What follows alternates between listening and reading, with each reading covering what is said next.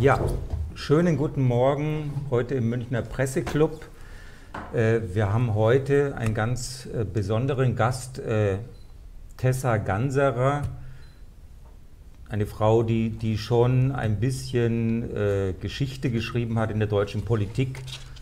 sie ist die ein, bisher einzige transsexuelle Abgeordnete in einem deutschen Landesparlament und Frau Ganserer äh, bewerbt sich jetzt dafür, dass sie bei der Bundestagswahl auch äh, gewählt wird und äh, nach Berlin äh, kommen kann, um da äh, einiges zu verändern, was, was ihr sehr am Herzen liegt und den Menschen, für, für die sie spricht. Und darüber wollen wir heute diskutieren. Also bitte Entschuldigung, dass wir erst jetzt eine Viertelstunde später anfangen, aber Frau Ganserer äh, hatte, hatte Probleme hierher zu kommen, war im Verkehrsstau. Äh, es hing sicher auch mit dem, mit dem Bahnstreik äh, zusammen. Aber jetzt können wir ein entspanntes, äh, ausgeruhtes Gespräch führen. Ja, Frau Ganserer, äh, vielleicht erklären Sie mal, warum Sie jetzt unbedingt äh, in den Deutschen Bundestag wollen und warum dieser Sprung vom Landtag in den Bundestag äh, eine viel größere Bedeutung hat für Sie. Ja. Also vielleicht erst mal einen schönen guten Morgen und ähm, entschuldigen Sie mich, ähm, nachdem äh, äh, wir uns momentan in einem Bahnstreik befinden, habe ich äh, gestern sicherheitshalber beschlossen, gleich aufs Auto zu setzen und äh, entsprechend war heute der Verkehr auf der A9, deswegen ähm, mein zu spät kommen äh, bitte das vielmals um Entschuldigung. Ähm, zu Grund, warum ich äh, für den Deutschen Bundestag ähm, kandidiere, ähm, ist ja gleich gesagt, ähm, dass eben ähm, auch äh, in dieser Legislaturperiode die Große Koalition aus CDU, CSU und SPD es nicht geschafft haben, dieses entwürdigende Transsexuellengesetz abzuschaffen ähm, vor genau zehn Jahren, äh, im Jahr 2011, hat, der, äh, hat das Bundesverfassungsgericht äh, in dem letzten Beschluss äh, einen Teil des transsexuellen Gesetzes äh, für grundgesetzwidrig erklärt. Seitdem wird eine Reform ähm, dieses Gesetzes versprochen, passiert ist nichts. Können, können, Sie kurz mal erklären, was das Bundesverfassungsgericht damals für, für grundgesetzwidrig erklärt hat?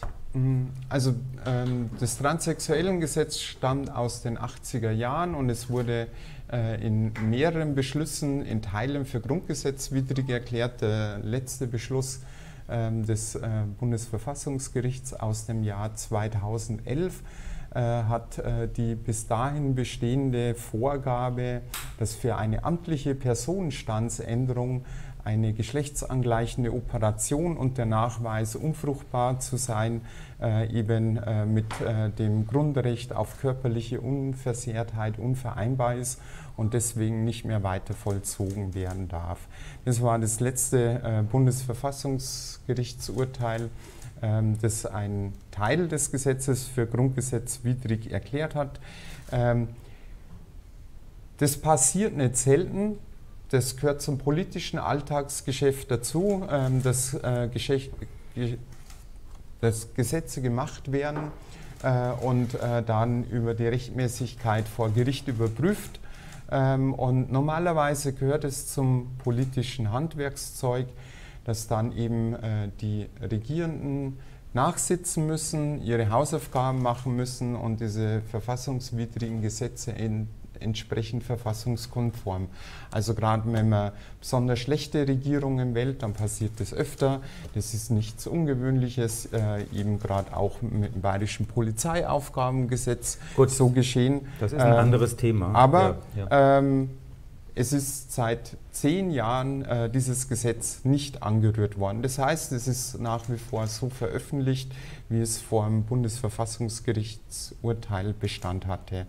Ähm, seit sechs Jahren fordert der Europarat die Mitgliedstaaten der EU dazu auf, dass sie einfache und unbürokratische Verfahren zur amtlichen Personenstandsänderung für transgeschlechtliche Menschen erlassen, die auch äh, das Selbstbestimmungsrecht äh, transgeschlechtlicher Menschen wahren, also eben äh, Verfahren ohne äh, psychologische Zwangsbegutachtungen, wie sie in Deutschland noch der Fall sind. Da kommen wir gleich drauf. Also Sie sagen der Europarat. Also gibt es in Europa Länder, die da deutlich weiter sind äh, äh, als, als Deutschland, äh, die eben mhm.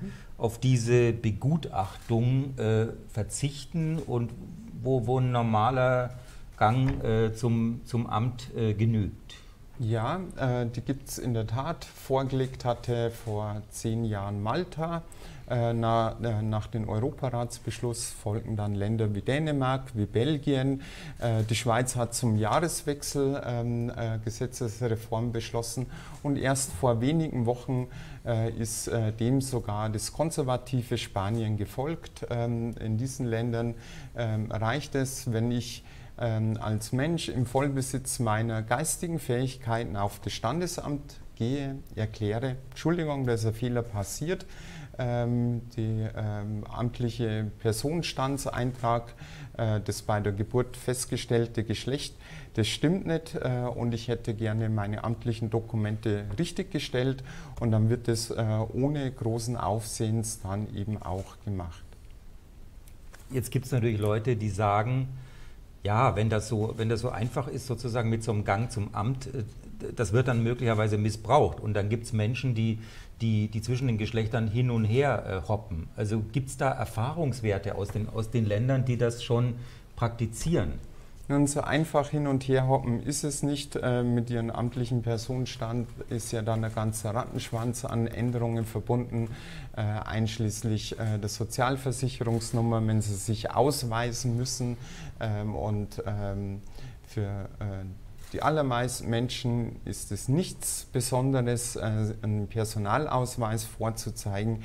Dann werden sie äh, jeweils entsprechend mit dem in den amtlichen Dokumenten festgestellten Personenstand, Vornamen und entsprechend auch angesprochen. Also aus Jux und Dollerei macht es keiner. Ähm, äh, der die Befürchtung des Missbrauches ist, wie die Erfahrungen in anderen Ländern zeigen, entsprechend unbegründet. Sie stehen jetzt auf dem Wahlzettel für die Bundestagswahl. Sie kandidieren auch als äh, Direktkandidatin äh, in Nürnberg. Und Sie, Sie haben sehr, sehr gute Chancen, in den Bundestag zu kommen, weil Sie auf der, der bayerischen Landesliste der Grünen auf Platz 13 stehen. Also wenn man jetzt mal diese Umfragen für, für realistisch hält, dann, dann sind Sie mit sehr, sehr großer Wahrscheinlichkeit im nächsten Parlament. Aber was man auf dem Wahlzettel lesen kann, ist, äh, ihr, auch ihr alter Name. Also da steht Markus in Klammer Tessa Ganserer, Försterin, MDL. Wie, was löst es in Ihnen aus? Wie, wie zufrieden sind Sie damit? Das, das sieht ja nach einer, nach einer Kompromisslösung aus. Das ist notgedrungen äh, das, ähm, was äh, die Partei zugestimmt hat, um meine Wählbarkeit nicht zu gefährden ähm, aber das ist einfach demütigend. Es ist demütigend und erniedrigend, ähm, hier den alten falschen Vornamen äh, zu lesen, genauso wie es einfach demütigend und erniedrigend ist und respektlos, äh, den alten falschen Vornamen ähm, äh, zu verwenden, äh, mich damit anzusprechen.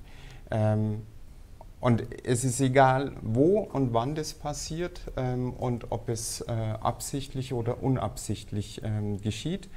Ähm, äh, und ich verstehe es nicht, ich verstehe es ehrlich nicht, ähm, warum das auch in den Medien, auch gerade bei mir immer wieder passiert. Ähm, vor Jahren schon hat äh, Focus äh, online äh, einen Praxistipp ähm, äh, veröffentlicht zu sensiblen Berichterstattung und Umgang ähm, mit transgeschlechtlichen Menschen, wo sehr genau erklärt ist, was Deadnaming ist, was es anrichtet und wieso es nicht gemacht werden soll. Deadnaming heißt eben den alten, falschen und abgelegten Vornamen von transgeschlechtlichen Menschen zu benutzen.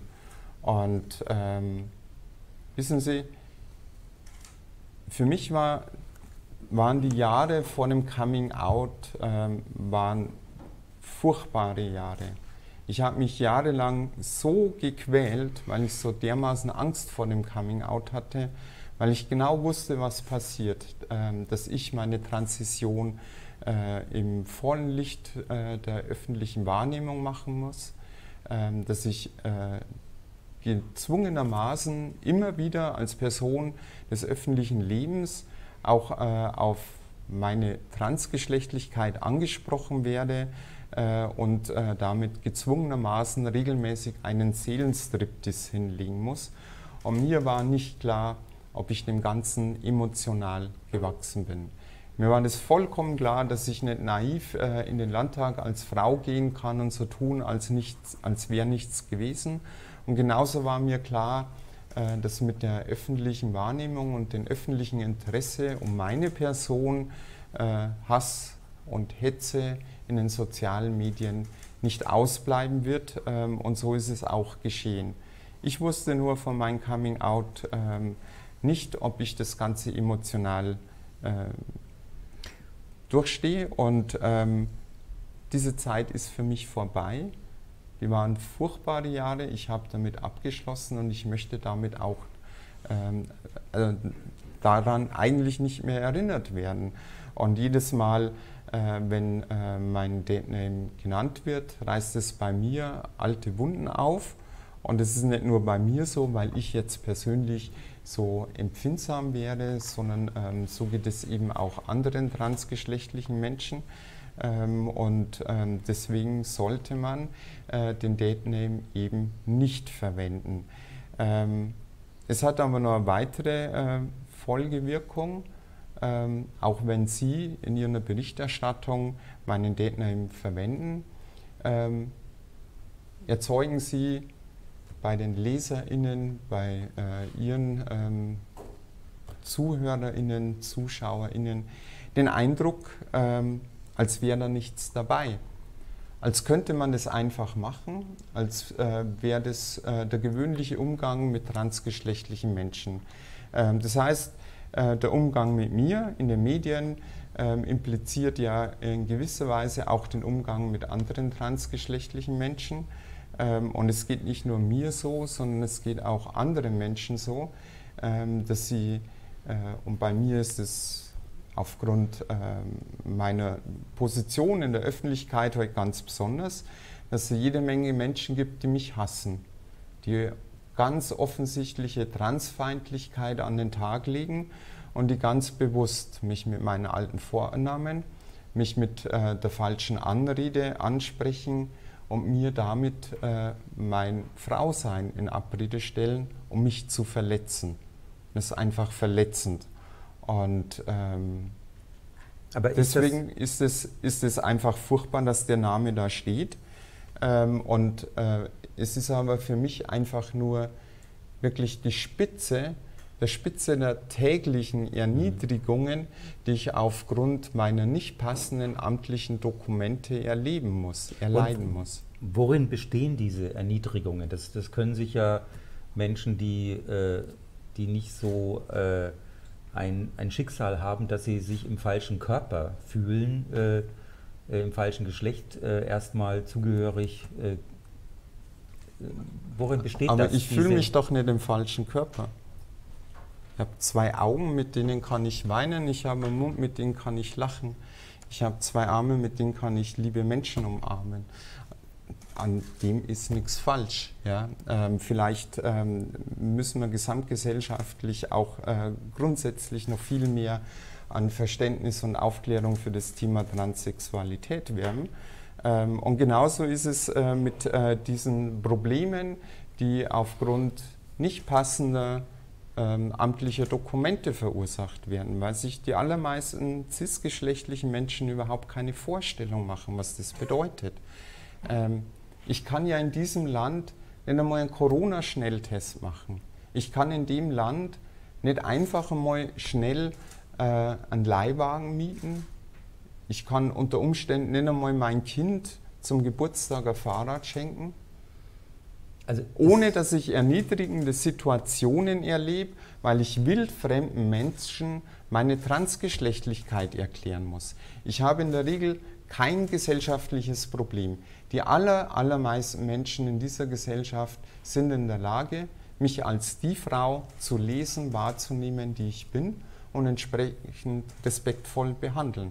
Aber jedes Mal, wenn ich meine Legitimität unter Beweis stellen muss, wenn ich meinen Personalausweis vorzeigen muss, gibt der das Bild von einem Menschen wieder und einen Namen von einem Menschen, der so eigentlich nie existiert hat.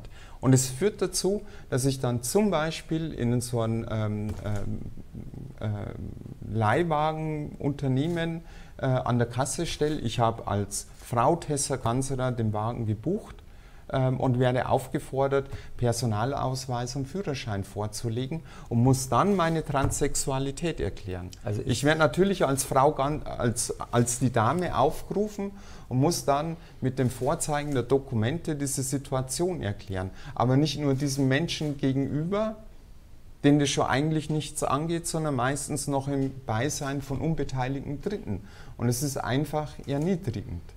Das führt jedes Mal in Erklärungs- und Rechtfertigungssituationen, die einfach erniedrigend sind. Das versteht man. Also das führt auf jeden Fall immer zu sehr viel äh, Verwirrung und ich glaube, ihr, ihr Appell, dass man jetzt auch an die, an die Pressekollegen und Kolleginnen, dass man ihren alten Namen, mit dem sie in den Bayerischen Landtag eingezogen sind, nicht mehr verwendet. Ich, denke, äh, dass man den äh, hören sollte und, äh, und dem, auch, dem auch genügen sollte. Mhm. Aber äh, vielleicht, wenn wir auf dem Landtag nochmal äh, zurückkommen, wie, wie war denn da die Reaktion? Äh, also kann man sagen, Sie, Sie werden heute oder Sie wurden danach auch mit sehr viel Respekt äh, betrachtet.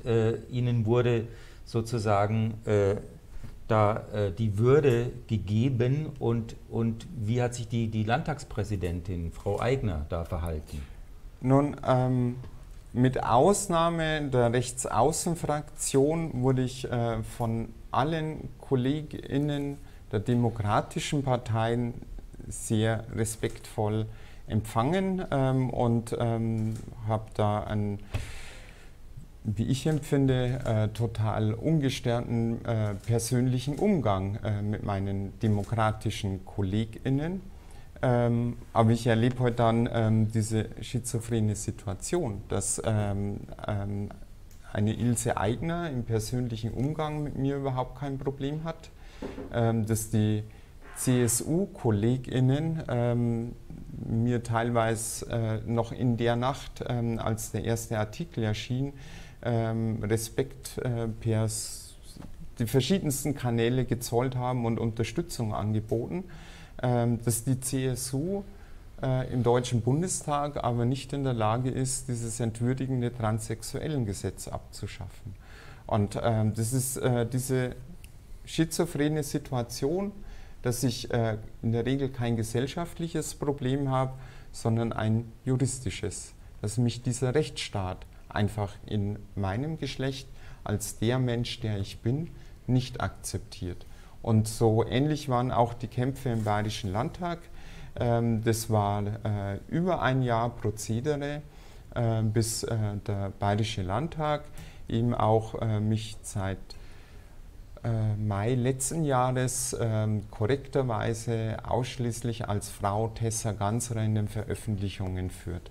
Es war eine lange Diskussion. Ähm, ich habe mich da äh, wie bei allen anderen Rechtsgeschäften auf ein Bundesverfassungsgerichtsurteil von 1996 berufen, äh, in dem ähm, das Bundesverfassungsgericht äh, nochmal deutlich gemacht hat, ähm, dass die Geschlechtszugehörigkeit eines Menschen eben wirklich untrennbarer Bestandteil des Selbstbestimmungsrechts ist und dass äh, dieses von allen staatlichen Ebenen zu respektieren und zu wahren ist. Und zwar unabhängig, unabhängig von der amtlichen Personenstandsänderung.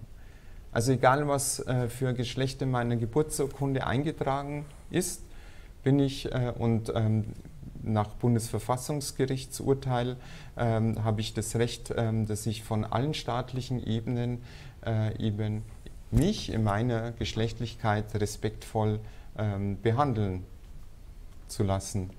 Und das erlebe ich so.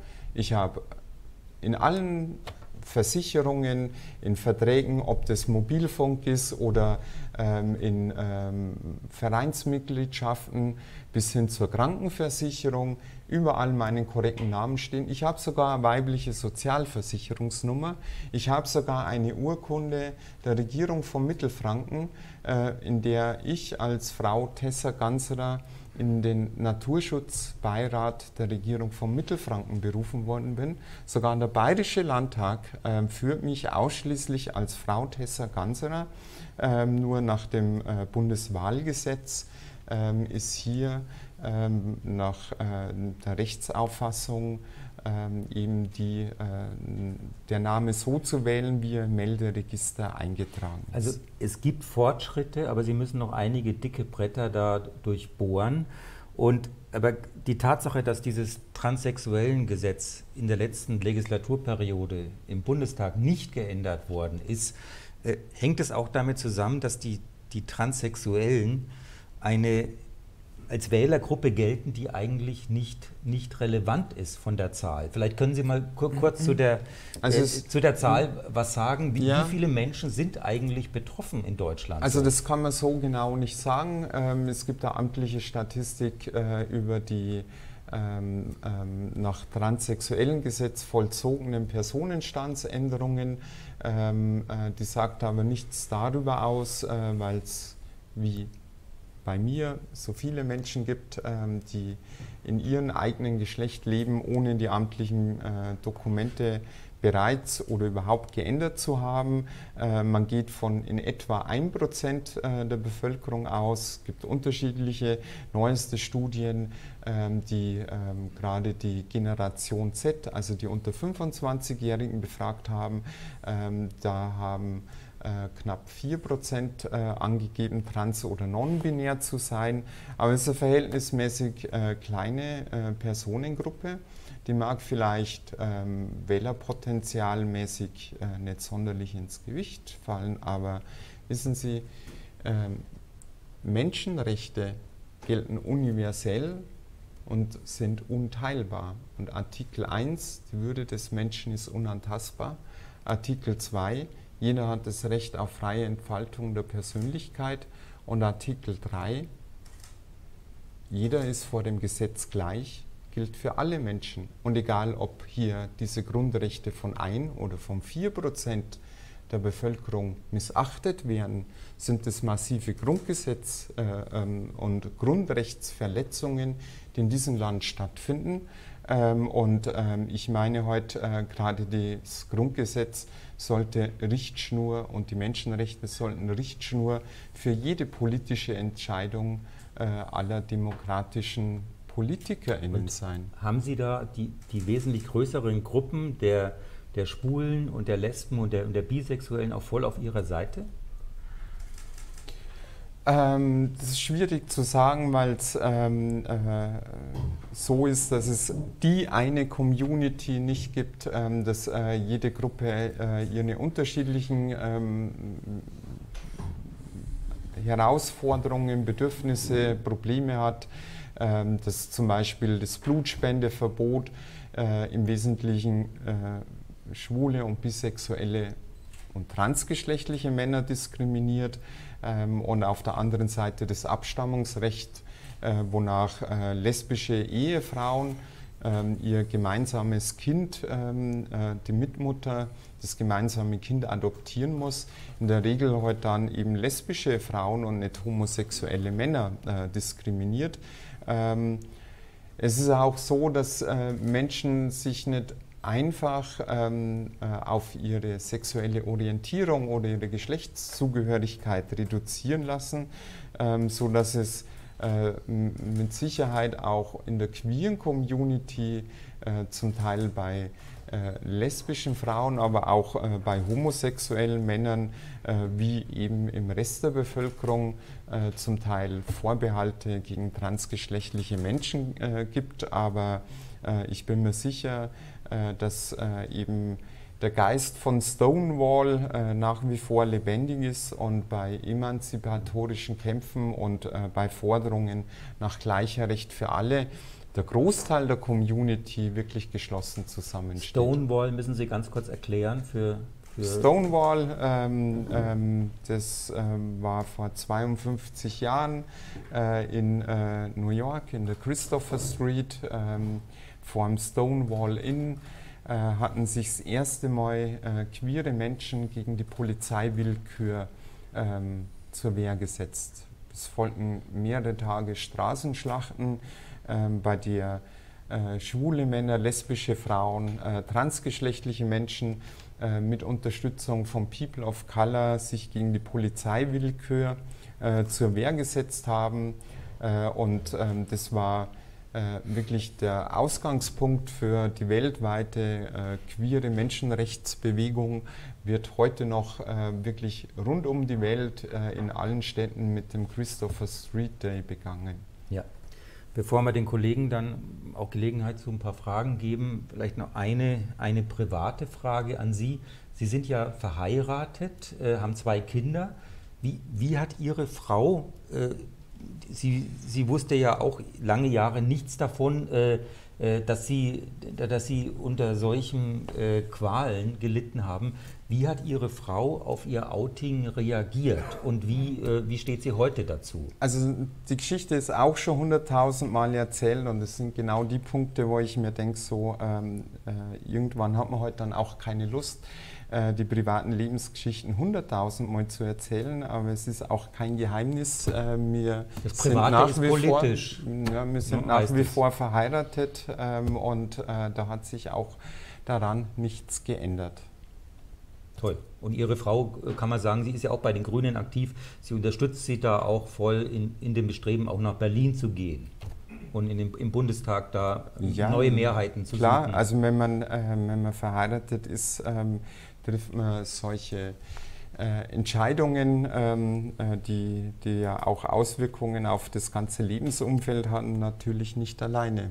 Also das äh, war schon auch äh, in, in, guter Absprache mit der Familie, diese Entscheidung nach Berlin zu gehen.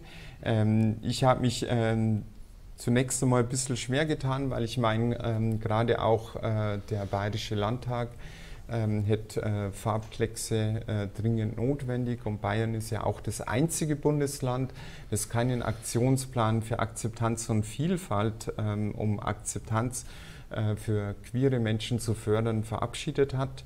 Ähm, aber nachdem so viele Menschen äh, mich äh, immer wieder darauf angesprochen haben und nachdem die, Sätze, äh, die Gesetze, die diskriminierenden Gesetze wie das Transsexuellengesetz eben äh, bundespolitische Gesetze sind ähm, und ich äh, mehrmals auch aus der Community, also nicht nur mehrmals, sondern immer wieder die Aufforderung ähm, erhalten habe und äh, es absehbar war, dass in dieser Legislaturperiode es zu keinen wesentlichen Reformen kommt, ist für mich dann ähm, der Entschluss gefallen, für den Deutschen Bundestag zu kandidieren. Ja. Gut, Gibt es Fragen äh, von den Kollegen hier erstmal? Äh, bitte? Ja. Vielleicht bitte ganz laut sprechen, ja. Simon Zuber von der Bild München. Mhm. Ähm, wir kennen uns schon von der Bild Nürnberg. Mhm. Ich soll die liebe Grüße von Thorsten Huber. Äh, ah, danke schön. Ähm, was sind die drei wichtigsten Punkte auf Ihrem Zettel, die Sie am Bundestag angehen? Also ähm, für, für mich ähm, das Wichtigste ist äh, eben die rechtliche Gleichstellung, wirklich in allen Bereichen. Und da äh, spreche ich explizit nicht nur das transsexuellen Gesetz an, sondern auch die bereits genannten äh, Punkte. Blutspendeverbot für schwule Männer, das Abstammungsrecht, wo lesbische Frauen diskriminiert werden, äh, transsexuellen Gesetz, ähm, das ist ein Bereich. Der zweite ist wir können gesellschaftliche Akzeptanz nicht per Gesetz verordnen. Wir können für rechtliche Gleichstellung sorgen im Deutschen Bundestag per Mehrheitsbeschluss, aber wir können gesellschaftliche Akzeptanz nicht im Bundestag beschließen. Und es ist nach wie vor so, dass wir in Teilen dieser Bevölkerung äh, nicht nur Unwissenheit und Vorbehalte haben, sondern richtig gehende äh, äh, Schwulen- und Transfeindlichkeit. Und dagegen hilft nur Aufklärung und Akzeptanzarbeit. Und deswegen braucht es als zweite Maßnahme ganz dringend auch einen bundesweiten Aktionsplan für Akzeptanz und Vielfalt. Der muss auch mit finanziellen Mitteln unterfüttert werden, weil diese Akzeptanzarbeit, dafür braucht es personelle und finanzielle Ressourcen. Und der dritte Punkt ist, jene Menschen, die Benachteiligung erfahren anhand von gruppenbezogenen Merkmalen, denen muss zu ihrem Recht verholfen werden. Und es trifft in dem Punkt eben nicht nur queere Menschen, wir haben das allgemeine Gleichstellungsgesetz, das vor Diskriminierung anhand von gruppenbezogener ähm, Merkmale schützt. Also ähm, aufgrund von, ähm, äh, von ähm, Abstammung, von äh, Religionszugehörigkeit, von sexueller Orientierung, von ähm, äh, Geschlechtszugehörigkeit. Nach wie vor ist es aber so, dass sehr viele Menschen, äh, ja auch Menschen mit Migrationshintergrund, ähm, Diskriminierung erfahren. Und, in das, in, und diese Diskriminierungserfahrungen ziehen sich wie roter Faden äh, durch alle Lebensbereiche. Ähm, und deswegen muss denen Menschen, die Benachteiligung erleiden, auch geholfen werden, dass äh, sie ähm, zu ihrem Recht kommen. Ähm, und auch das äh, ein, eine Baustelle, die in dieser Legislaturperiode nicht angegangen wurde, trotz massiver Kritik, dass das allgemeine Gleichstellungsgesetz reformiert, erweitert, verschärft wird. Es gilt momentan nur für den äh, privaten Geschäftsverkehr. Also staatliche Diskriminierung. Ähm, davor schützt das allgemeine Gleichstellungsgesetz nicht. Ähm, deswegen gehört das nachgebessert. Und auch hier ähm, das ähm, gibt regelmäßig ähm, diese Meldungen, dass die äh, ähm, äh, Bundesantidiskriminierungsstelle, die solche Fälle annimmt, die zum Beispiel, ich, ich kenne privat einen, einen, sehr konkreten Fall, wo ein Mensch aufgrund seiner Behinderung von einer Versicherung ausgeschlossen wurde. Ähm, und, und diese Person wäre niemals in der Lage gewesen, sich selber rechtlich zu wehren. Äh, mit einem kurzen Schreiben an die Antidiskriminierungsstelle erfolgte eine klare Stellungnahme, auch gegenüber der Versicherung. Ähm, und ohne großen Aufwand und ohne Rechtsstreit hat diese Person ihre Versicherung bekommen. Ähm, und es gibt so viele Fälle, wo Menschen aufgrund ihrer sexuellen Orientierung im Beruf benachteiligt werden oder zum Beispiel keine Wohnung bekommen äh, und dergleichen. Und deswegen muss dieses allgemeine Gleichstellungsgesetz verbessert und auch die Antidiskriminierungsstelle personell aufgestockt werden. Diese drei Bereiche.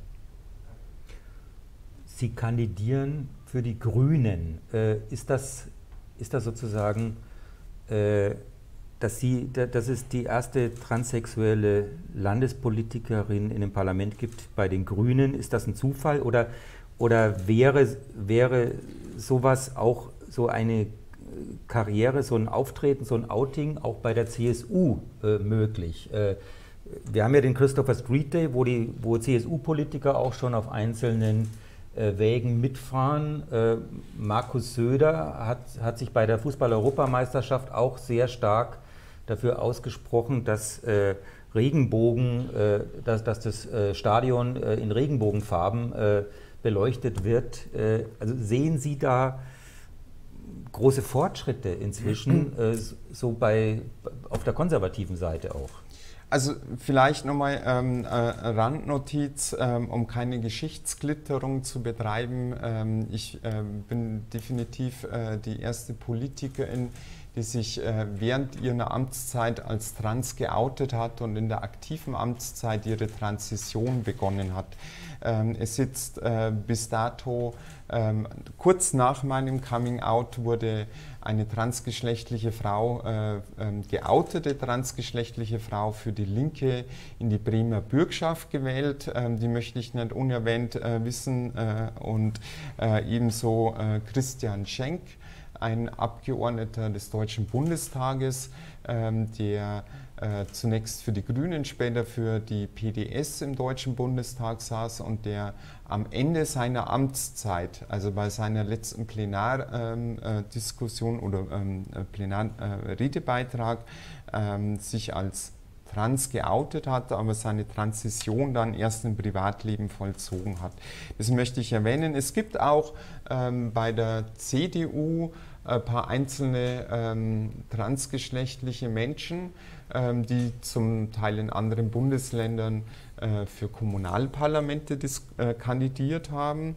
Ähm, und ähm, das bestätigt mich heute, äh, Menschen lassen sie heute nicht auf, allein auf äh, ihre Sexualität oder Geschlechtlichkeit reduzieren. Deswegen äh, findet man ähm, die Menschen, äh, queere Menschen auch in allen Parteien. Warum ist es jetzt so bei den Grünen? Ähm, naja, äh, es ist schon ein Unterschied, ähm, äh, wie die Parteien dann für gesellschaftlichen Fortschritt stehen.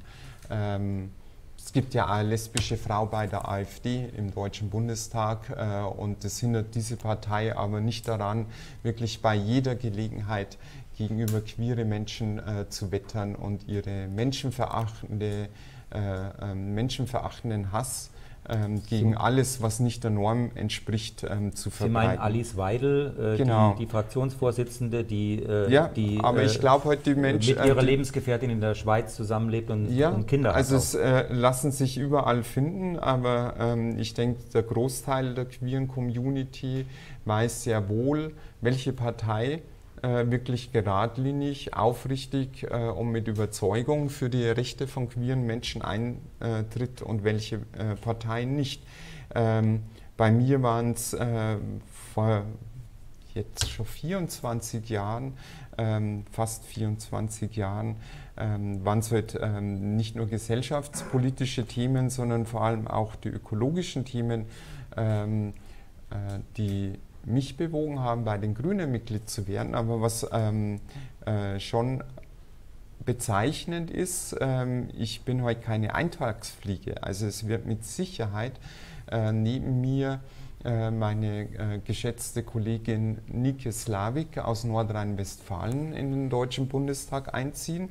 Und bei den momentanen Umfragen, äh, ähm, sind seit Monaten stabil, äh, wo wir in Bayern 30, äh, vielleicht einmal knapp unter 30, ähm, meistens sogar über 30 Mandate bescheinigt bekommen, äh, wird ähm, mit äh, Viktoria Brossard auf Platz 25, eine dritte transgeschlechtliche Frau und mit Platz 30 unter Umständen sogar als vierte im Bunde äh, Ami Lanzinger, eine non-binäre Person für die Grünen in den Deutschen Bundestag einziehen, ähm, was eben zeigt, ähm, ich bin da keine Eintagsfliege, ich bin auch nicht irgendwie ein Aushängeschild, ähm, sondern ähm, wir haben hier auf den verschiedensten Ebenen ähm, sehr viele queere Menschen und auch geoutete transgeschlechtliche also so, ähm, Personen denke, in unserer Partei. Denke, und in der Deutlichkeit sehe ich das bei anderen Parteien nicht.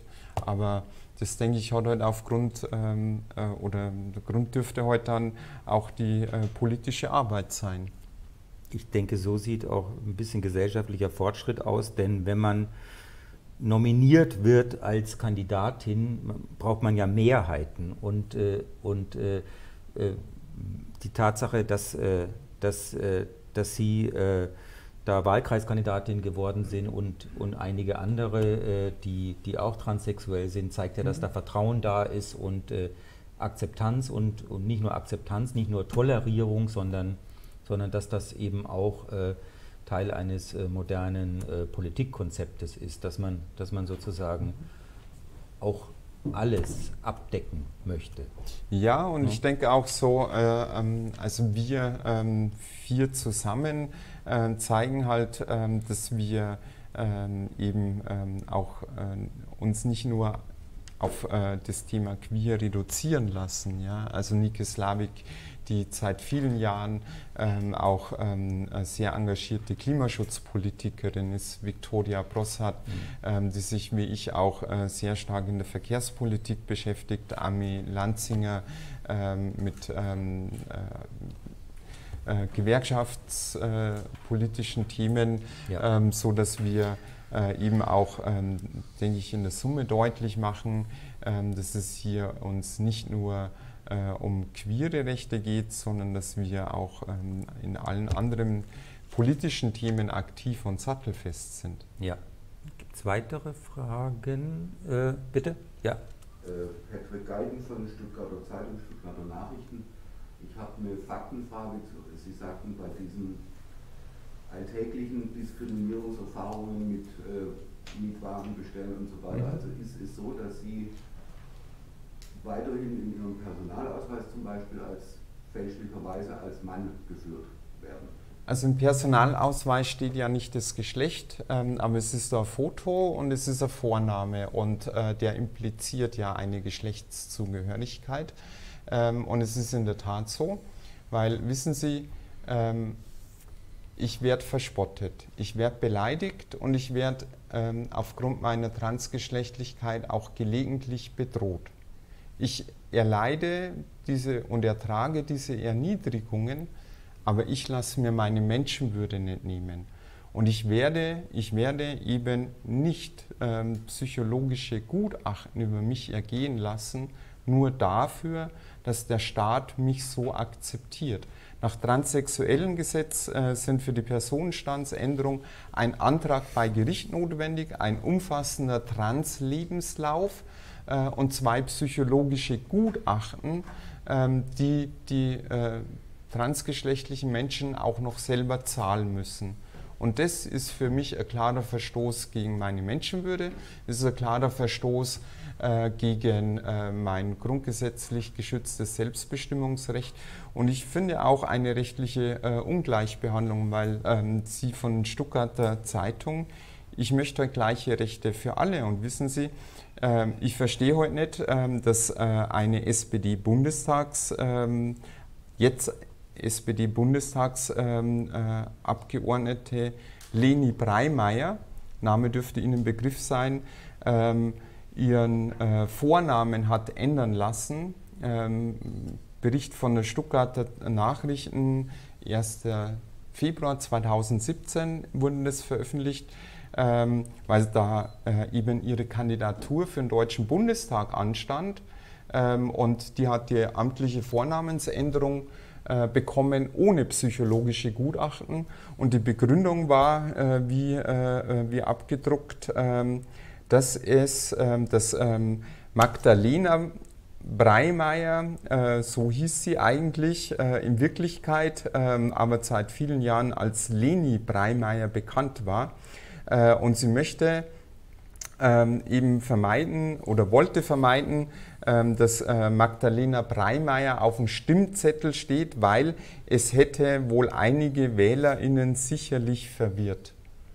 Und transgeschlechtliche Menschen müssen für die Vornamensänderung psychologische Gutachten ergehen lassen. das ist für mich ein klarer Verstoß gegen meine Grundrechte und deswegen mache ich das nicht mit. Aber mit dem Date-Naming auf dem Wahlzettel ist für mich einfach äh, das Maß an erträglichen Erniedrigungen weit überschritten, weshalb ich jetzt äh, mit ähm, Unterstützung ähm, einer Anwältin ähm, einen Antrag beim Amtsgericht Nürnberg äh, auf Personenstands- und Vornamensänderung nach dem transsexuellen Gesetz gestellt habe, aber explizit ohne diese Zwangsbegutachtungen.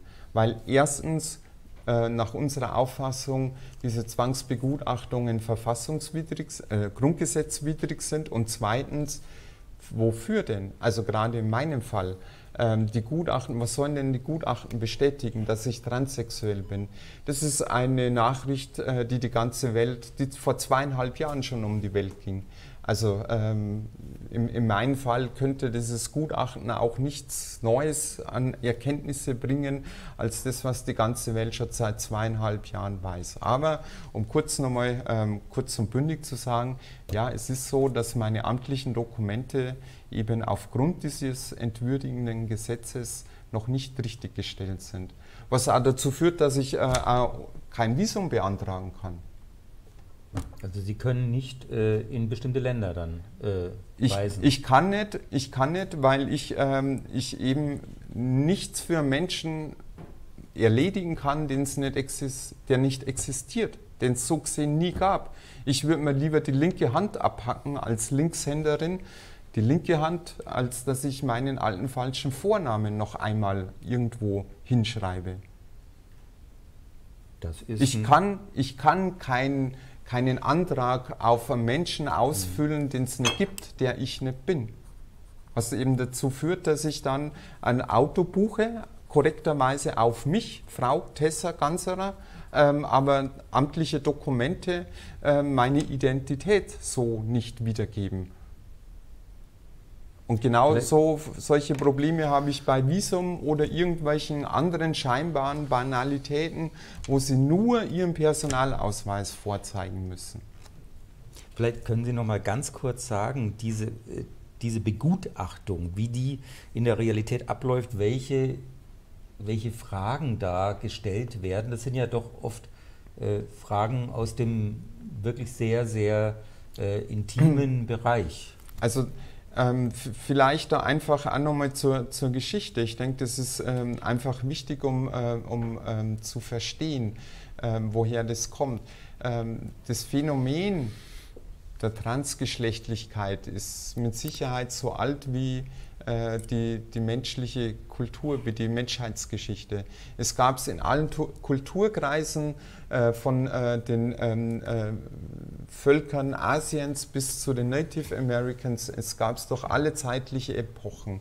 Äh, nur irgendwann hat äh, gerade die westlich-christliche Kultur angefangen, äh, Transgeschlechtlichkeit zu verpönen, zu stigmatisieren äh, und transgeschlechtliche Menschen an den Rande ge äh, der Gesellschaft zu drängen.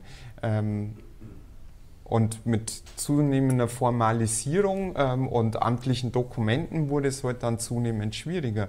Ähm, in den 20er Jahren ähm, äh, hat äh, Magnus Hirschfeld, ähm, großer deutscher Sexualforscher, ähm, das eben erkannt, als einer der ersten, also deutlich formuliert, äh, diese Erkenntnis, dass sich Geschlechtlichkeit eines Menschen eben nicht anhand von körperlichen Merkmalen, ähm, auch nicht anhand von, ähm, von, ähm, von Hormonstatus, von Chromosomen festlegen lässt, sondern im Wesentlichen ein untrennbarer Bestandteil unserer Persönlichkeit. Über unser Geschlecht können wir nur selber Auskunft geben. Das kann kein anderer Mensch festlegen, das kann kein anderer Mensch ähm, diagnostizieren.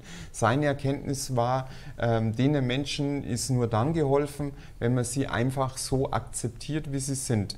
Ähm, und ähm, das war eine kurze liberale Zeit in der Weimarer Republik, vor allem in den Großstädten wie Berlin, äh, wo transgeschlechtliche Menschen auch in der Öffentlichkeit plötzlich äh, mehr oder weniger frei leben konnten.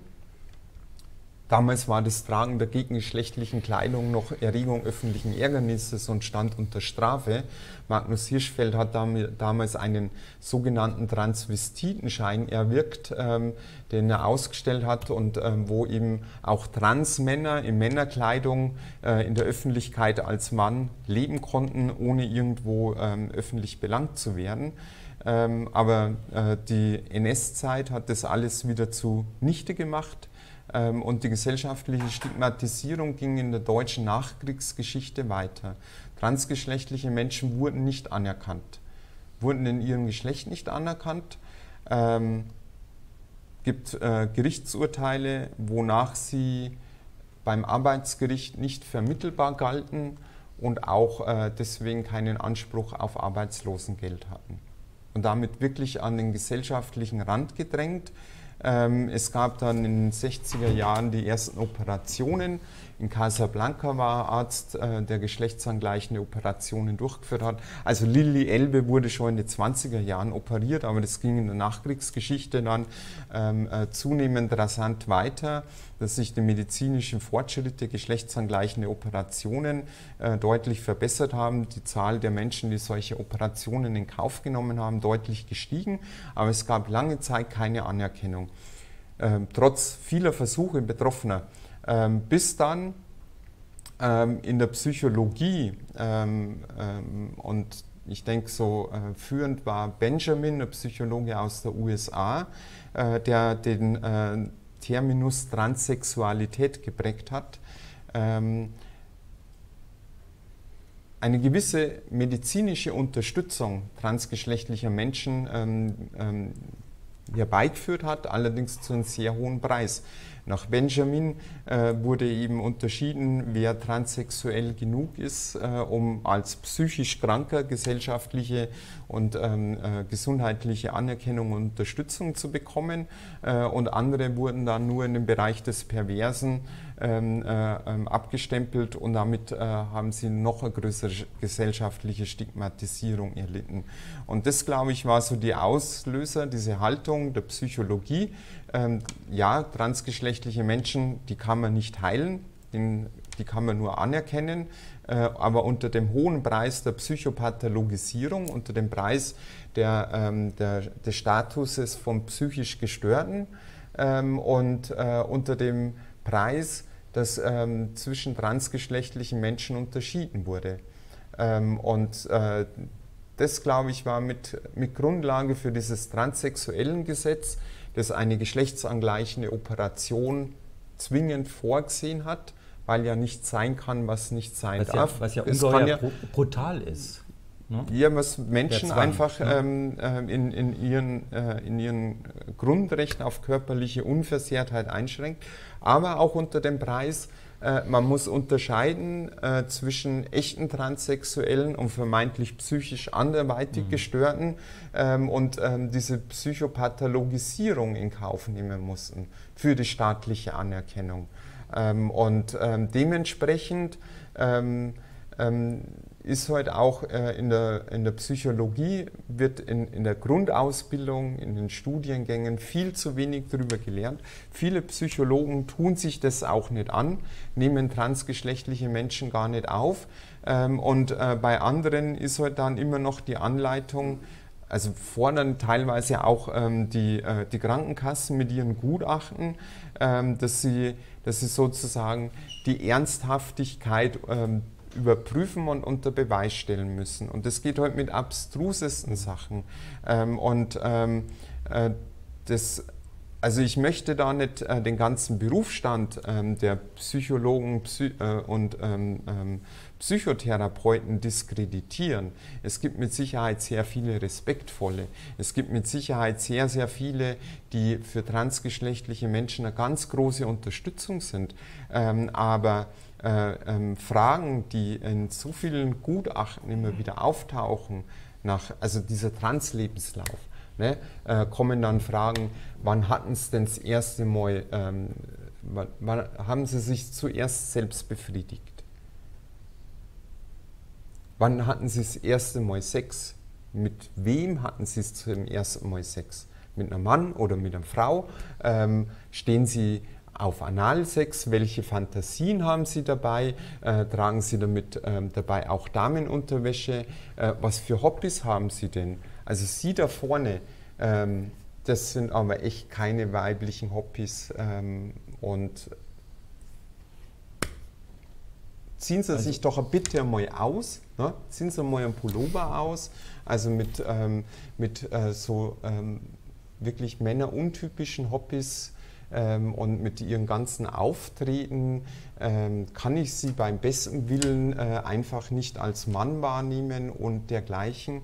Also da, da passieren heute sehr oft wirklich ähm, massive Grenzüberschreitungen und es sind heute wirklich intimste Fragen. Also mhm. selbst wenn die respektvoll gefragt werden, wenn Sie, wenn Sie einen Translebenslauf schreiben müssen, wann, wo mit sexuellen Orientierungen, äh, mit Ihren sexuellen Fantasien, das Privatleben, das Verhältnis zu, zu, Eltern analysiert wird, die Schulnoten analysiert werden, nur damit der Staat sie so akzeptiert, wie sie sind.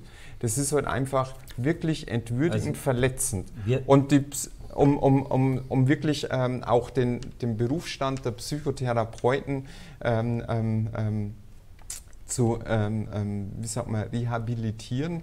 Äh, ich weiß sehr wohl um ähm, die äh, wohlwollende Unterstützung, ähm, weil eben auch die ähm, Psychotherapeuten seit vielen Jahren sagen, die Menschen, die solche Gutachten ausstellen, sagen, das bringt nichts. Das bringt nichts, weil sie können als, äh, als Gutachter auch nur das niederschreiben, was der Mensch von sich selber eben bereit ist mitzuteilen und was der Mensch von sich selber auch sagt. Und wenn ich als transgeschlechtliche Frau ähm, sage, ich bin Frau, kann der Gutachter ähm, das ja nicht irgendwie überprüfen. Es gibt ja keine Blutwerte, ich habe nirgends mhm. irgendwo ein Maschel oder einen Stempel dran, äh, wo man das irgendwie nachweisen oder überprüfen könnte. Mhm. Deswegen sagen die Psychotherapeuten und deswegen behandeln ja die allermeisten ähm, transgeschlechtliche Menschen auch sehr rücksichtsvoll und sehr verständnisvoll. Aber diese Abhängigkeitssituation, ja. Das, das haben, ist halt einfach dieses Entwürdigende. Das haben wir verstanden. Und die Abhängigkeitssituation, dass über sie geurteilt wird und äh, dass der Richter und entscheidet. Das, und, dass, äh, und dass eben auch da Klischees, auch immer noch bei manchen Therapeuten zumindest, äh, da eine, eine, eine, große Rolle spielen. Also das ist, das versteht, glaube ich, jeder, mhm. wenn man sich mal ein bisschen in sie hineinversetzt, dass das äh, äh, entwürdigend ist. Kommen wir mal ganz kurz zur Politik noch. Markus Söder hat gerade vor ein paar Tagen einen schönen Satz gesagt, äh, nur die Liebe zählt. Also es zählt nicht, ob ein Mann einen Mann liebt oder eine Frau eine Frau oder, oder äh, hat sicherlich auch die, die Transsexuellen da mit gemeint. Das ist doch eigentlich ein, ein wunderbarer Satz äh, und äh, da, da, müssen Sie doch äh, froh sein darüber. Da, jetzt könnten Sie mal Markus Söder loben. Äh, Sie wären ja wenn Markus Söder Kanzlerkandidat also, geworden wäre und, und, und bin, äh, dann, dann, dann, wäre er ja in Ihrem Wahlkreis gegen Sie angetreten. Ich, äh, äh ich bin in, äh, in Bayern geboren und lebe ähm, äh, seit äh, Jahren ähm, wirklich gerne in der Frankenmetropole äh, um beide Stämme ein, äh, eine Grundeinstellung. Nicht geschimpft ist gelobt nur. ähm, und es gilt äh, insbesondere gegenüber der CSU, aber in dem Fall ähm, hat Markus Söder einfach auch äh, kein Lob verdient. Im Gegenteil. Ähm, weil ähm, die Worte, die vernehme ich gern, nur ähm, allein es fehlt heute an den Taten. Ähm, an den Taten sollten sie gemessen werden. Und wenn äh, ein ähm, Markus Söder sich äh, beim äh, UEFA ähm, ähm, Spiel Deutschland gegen Ungarn mit der Regenbogenfahne in der Allianz Arena ablichten lässt, ähm, dann ist es für mich an wirklich Scheintoleranz, die da ähm, abgebildet wird und zur Schau getragen wird, einfach nicht mehr zu überbieten. Weil das muss man wirklich einmal sauber, ähm, sauber ähm, auseinanderlegen, was da passiert ist.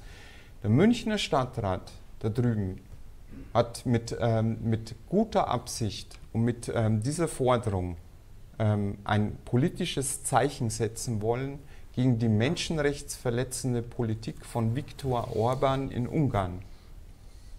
Und mit dem Nein der UEFA ist aber diese Debatte um die Menschenrechtsverletzungen in Ungarn, die Diskussion sehr schnell in das Thema Akzeptanz im Sport gerückt.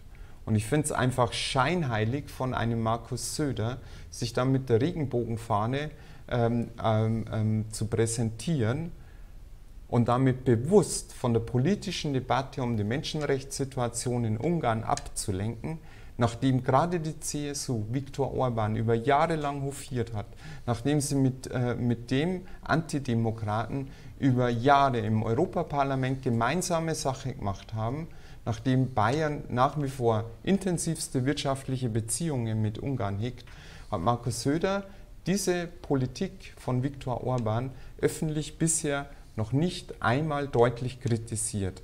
Aber dann ist es fein, sich als vermeintlich guter, moralisch Überlegener gegenüber der UEFA zu präsentieren und gleichzeitig lenkt er von der politischen äh, Untätigkeit der CSU im Deutschen Bundestag und der CSU-Söder-Regierung ähm, hier in, Bayerisch, äh, in Bayern ab.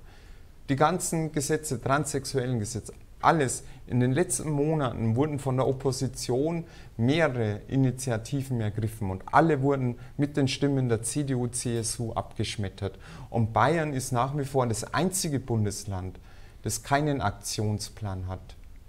Und wir haben in so vielen Bereichen, wir haben das als äh, grüne Landtagsfraktion äh, Umfragen dazu gemacht, nachdem jeder zweite queere Mensch in den letzten drei Jahren in Bayern in mindestens einem Lebensbereich Diskriminierung erfahren hat. Und es zieht sich durch äh, wie roter Faden von der Schule über die, ähm, die Arbeitswelt, über den Wohnungsmarkt ähm, bis hin äh, bis äh, ähm, ähm Gesundheits- äh, und Pflegebereiche erleben queere Menschen auch heute noch regelmäßig Diskriminierungen. Und da so zu tun, als äh, mir kann doch jeder so leben, wie er möchte. Das ist lieb und nett. Ja? Ähm, aber ich darf heute an, äh, ähm, ähm, gegenüber den nach wie vor vorherrschenden Diskriminierungen mit meinen Augen verschließen. Und das tut aber Markus Söder. Und deswegen nehme ich das ihm nicht glaubhaft ab. Deswegen ist es für mich in meinen Augen einfach nur Scheintoleranz, Gut. was also hier vorgelebt wird. Sie halten ihn für opportunistisch. Andere sagen vielleicht, er, er ist vielleicht lernfähig auch. Äh, und jedenfalls. Das äh, glaube ich erst, wenn entsprechende parlamentarische Beschlüsse herbeigeführt ja, werden. Ja. Also eine, eine, Politikerin, die Ihnen deutlich besser gefall, ge, gefallen müsste, ist ja Petra Kelly gewesen. Das war die letzte Nürnbergerin, die für die, für die Grünen im Bundestag saß. Äh, äh, ist, äh, und Pe Petra Kelly hat ja dieses Wort mal geprägt, wir sind die Antipartei-Partei.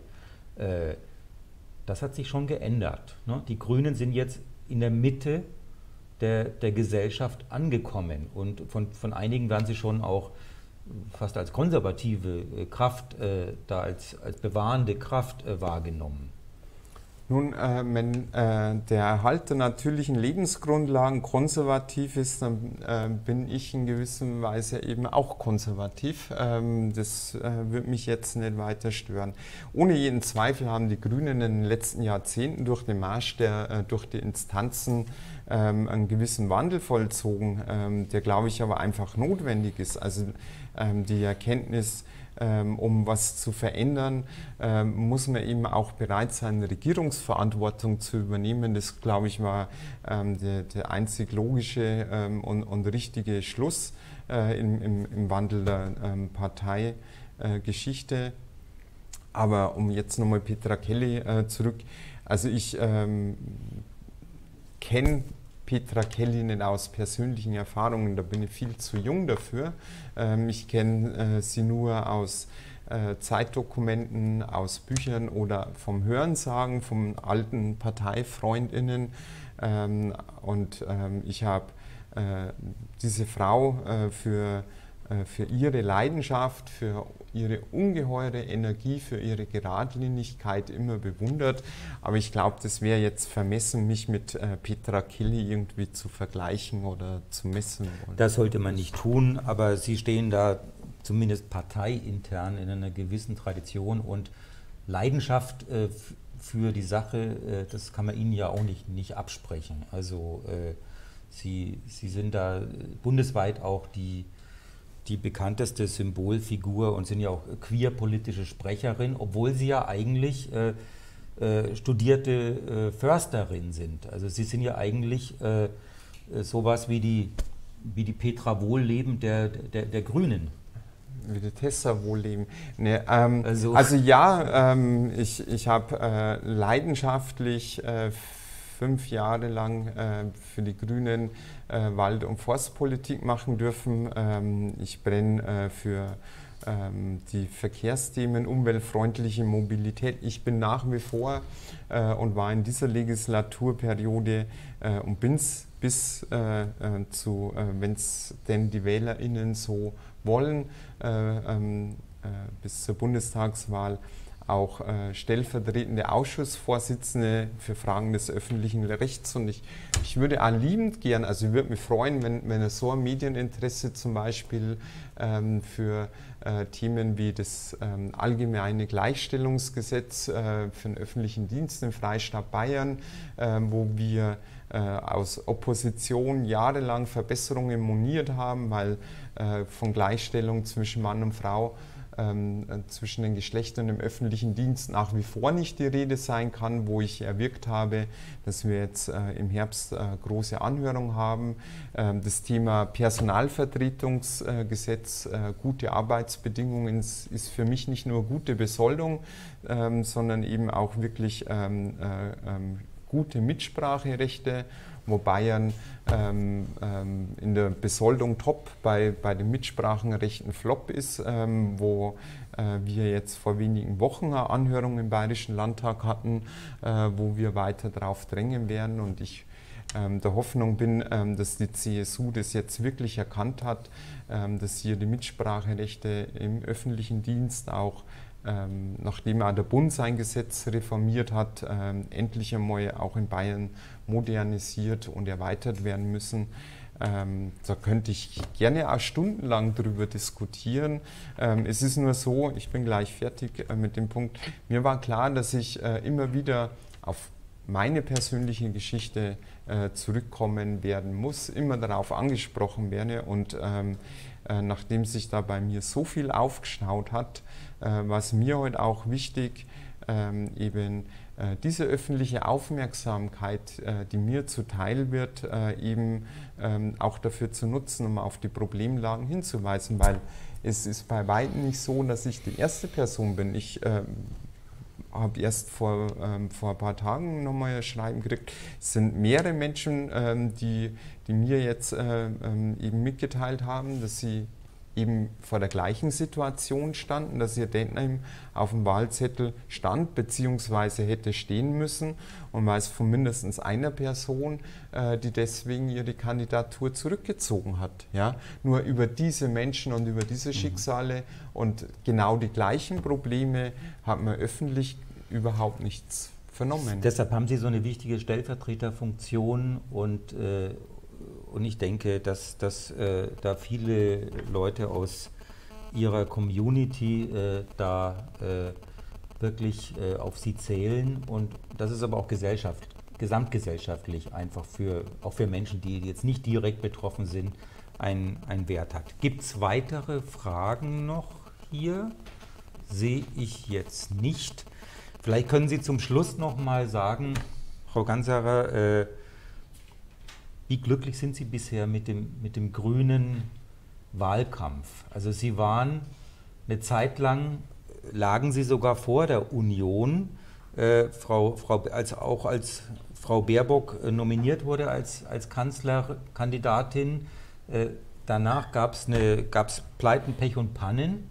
Äh, äh, es knirscht, es, es ächzt manchmal der, der Wahlkampf, er kommt, kommt nicht so richtig voran.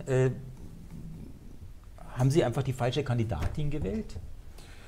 Ach, ähm, das war für uns klar, ähm, dass äh, diese ähm, ähm, super Umfragewerte nach der Kandidatur äh, von ähm, Annalena Baerbock als Kanzlerkandidatin ähm, erst einmal eine Momentaufnahme sind und dass es bis zum Herbst, äh, vom Mai bis zum Herbst äh, ein äh, langer langer Sommer wird äh, und jede Menge Arbeit und dass uns dabei ähm, der, der Wind auch ordentlich um die Nase wehen wird.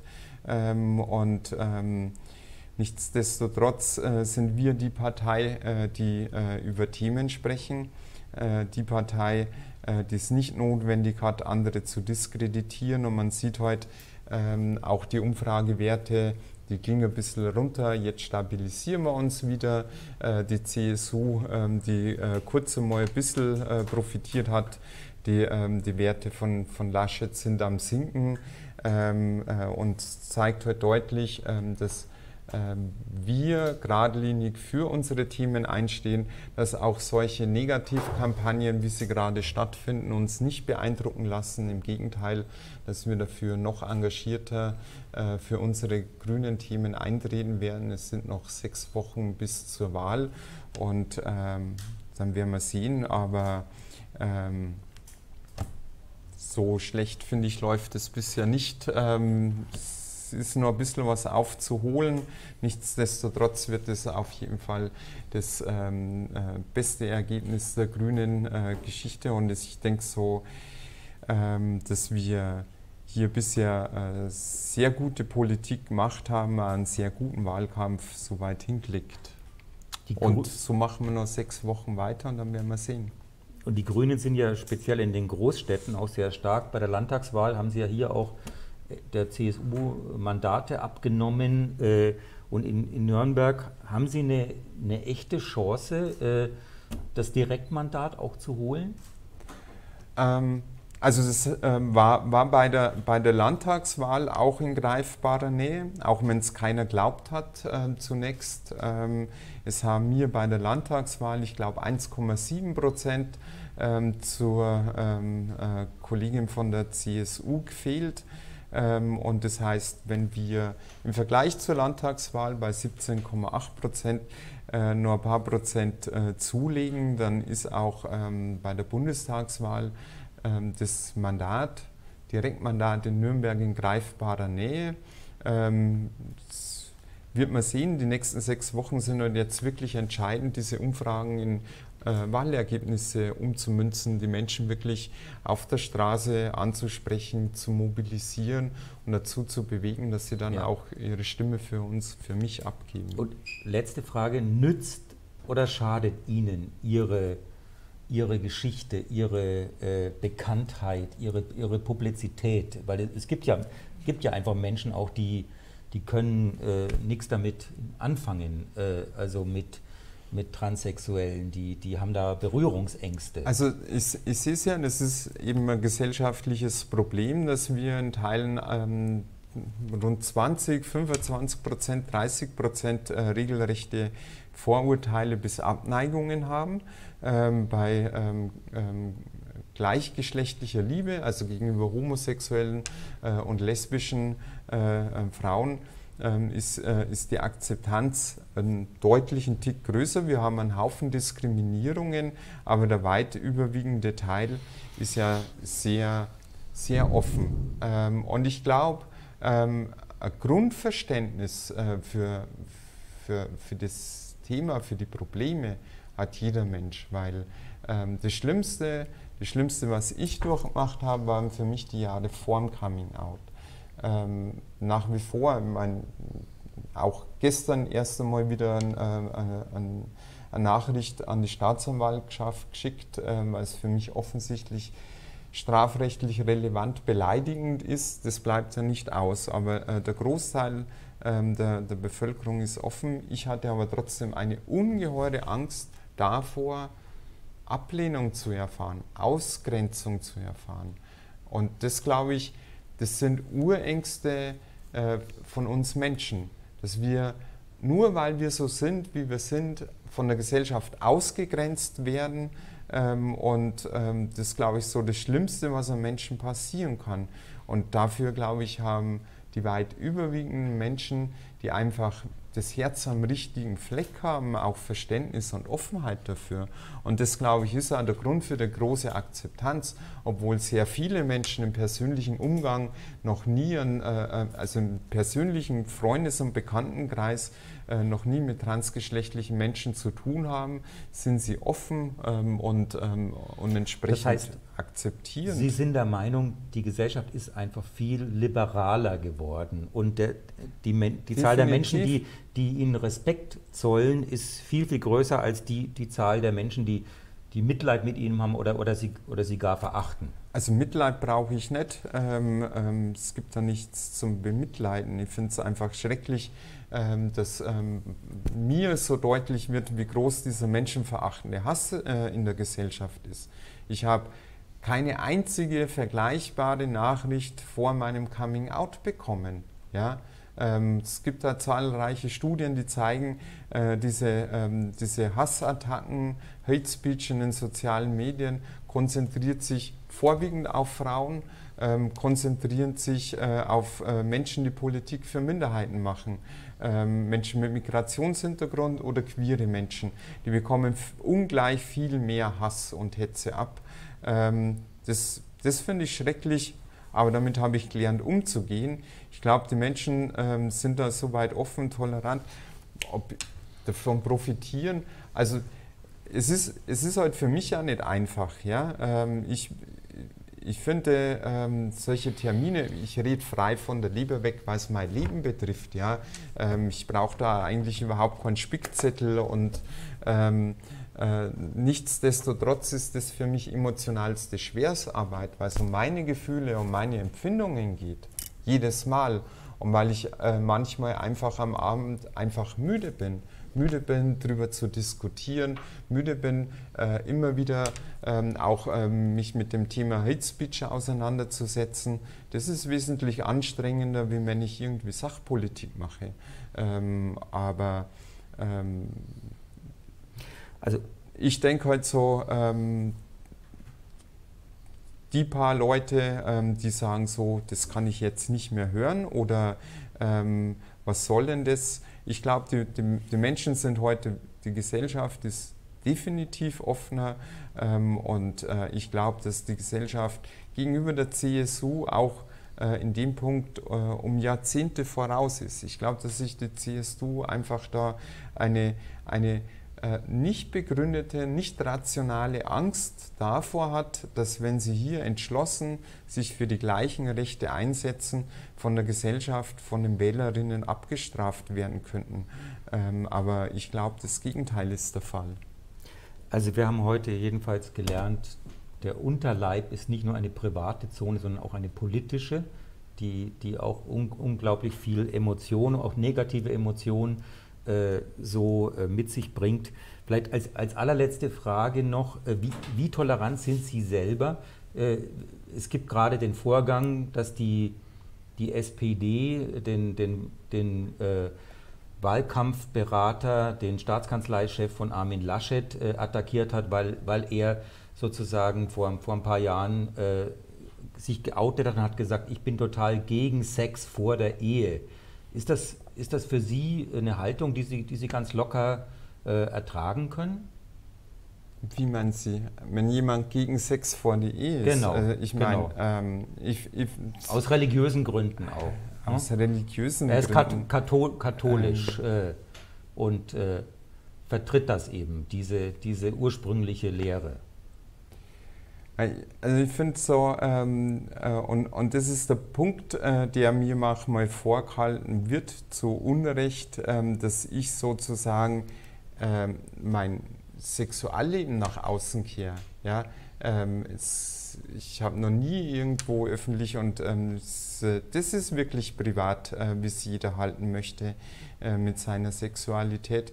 Das finde ich, äh, muss, muss man jetzt nicht politisieren. Es ist ja, ja der Unterschied ähm, zwischen äh, Sexualität äh, und ähm, Geschlechtlichkeit. Ähm, ähm aber ich glaube, ähm, da gibt es ja noch ein paar andere Positionen, die äh, entsprechend äh, bedenklich sind und über die, äh, die Haltung der katholischen Kirche, da könnte man äh, nochmal einen eigenen Thema. Termin machen. Aber jedenfalls sind Sie da auch tolerant und die SPD hat, hat das ja auch jetzt zurückgezogen sozusagen, äh, weil, man, weil man einfach äh, nicht äh, mit religiösen Überzeugungen da sich ja, aber wenn aus ne? religiösen? Überzeugungen dann Positionen kommen, ähm, dass ähm, äh, gleichgeschlechtliche Liebe ähm, und äh, Transsexualität ähm, nicht gleich viel wert ist wie äh, Position im Vatikan, ähm, die ähm, sich äh, dagegen ähm, ähm, Vatikan ausgesprochen hat, ähm, dass in der katholischen Kirche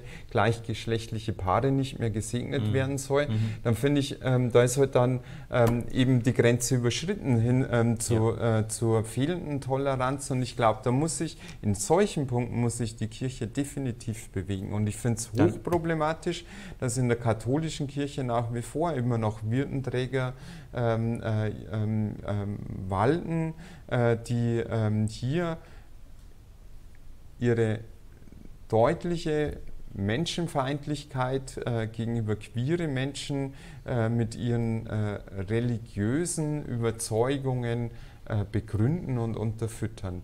Das glaube ich, also da ist dann für mich einfach das Maß an, an Offenheit und Toleranz wirklich weit überschritten. Da haben Sie recht, da, da wird es dann wieder politisch und da versteht jeder, dass Sie äh, dagegen auch Stellung nehmen.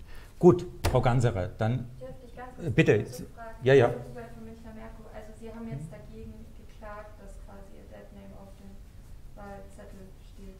Nee, ähm, nee ähm, also oder, oder äh, sehen Sie es nach, ähm, dass ähm, äh, aber das ist, das ist so das typische Phänomen. Ne? Ähm, äh, Halbwahrheit fünfmal äh, voneinander abgeschrieben, erweist sich als gesicherte Erkenntnis. Ähm, äh, das Exklusivinterview habe ich äh, den Spiegel äh, gegeben ähm, und wer äh, da nachliest, ähm, der findet auch die Fakten alle korrekt wieder. Ich klage nicht gegen das Wahlgesetz. Ich habe einen Antrag beim Amtsgericht ähm, Nürnberg auf äh, Personenstandsänderung nach den TSG ähm, gestellt, weil für mich das Problem äh, in diesen aufwendigen und entwürdigenden Transsexu Verfahren nach transsexuellen Gesetz liegt. Ich kann nicht einfach zum Amtsgericht gehen, den Antrag haben wir vor drei Wochen gestellt, ich habe bis heute noch keine Antwort bekommen. Ja? Also, ähm, ähm, das, äh, das, das, Wahlrecht ähm, ist für, für mich einfach ein Nebenkriegsschauplatz ähm, äh, und hätte äh, für mich dann auch äh, das Risiko bedeutet, ähm, dass ich meine mhm. Wählbarkeit aufs Spiel gesetzt mhm. hätte. Also danke der Kollegin für die Nachfrage nochmal. Äh, also, äh, weil, weil, aber man, man kann davon ausgehen, auf dem Wahlzettel wird eben stehen, äh, ihr männlicher Name in Klammer, dann ihr, ihr in Klammer Tessa, ihr Ihr der, Aktor, korrekte Name. der korrekte Name und äh, ich denke mal, dass die, äh, die Wähler dann, äh, äh die die Geschichte kennen, mhm. Äh, sozusagen nicht allzu äh, verwirrt sein werden und die Wahl dann korrekt ablaufen kann. Gibt es noch weitere Fragen? Sonst würden wir dann die Veranstaltung beenden und uns bedanken, dass Sie uns äh, Einblick gegeben haben in ein ungewöhnliches Politikerinnenleben. Und äh, ich denke, parteiübergreifend äh, kann man sagen, auch im, Landtag, wenn man mit, mit den Politikern und Politikerinnen spricht, dass sie eine Bereicherung waren. Und Vielleicht sind manche auch froh, wenn sie aus dem Landtag ausscheiden und in den Bundestag gehen. Äh, aber äh, ich denke, das ist eine Minderheit. Okay, also vielen Dank, Frau Ganzerer. Bitte, ich danke für die Einladung. Ja. Frau Ganzerer, ich hätte noch eine Frage. Mhm.